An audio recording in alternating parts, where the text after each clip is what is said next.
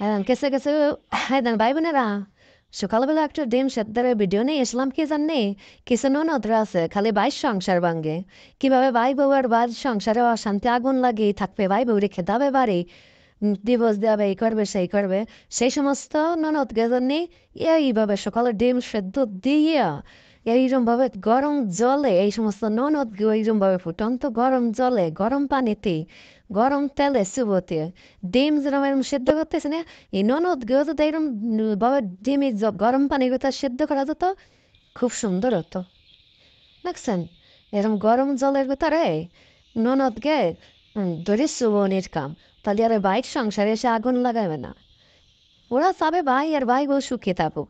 ওরা চায় ভাই বউ আর ভাই যাতে আগুন লাগে থাকুক। ওরা যে স্বামীর সাথে সুখে থাকে এটাই না।